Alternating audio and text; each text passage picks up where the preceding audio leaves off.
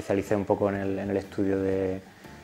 la, microbiología del aparato digestivo, en este caso de rumiantes, y su relación con, la producción de metano. Son 39 países los que participan, de, prácticamente todos los continentes,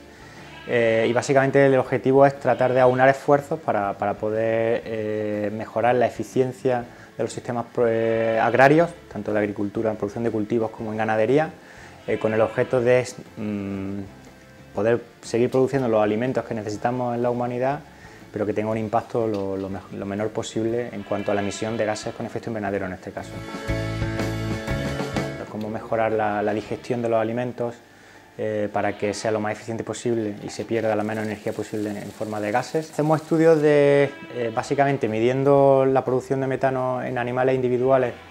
en función de la dieta, para ver qué efectos tienen introducción de nuevos forrajes o de nuevas variedades de grano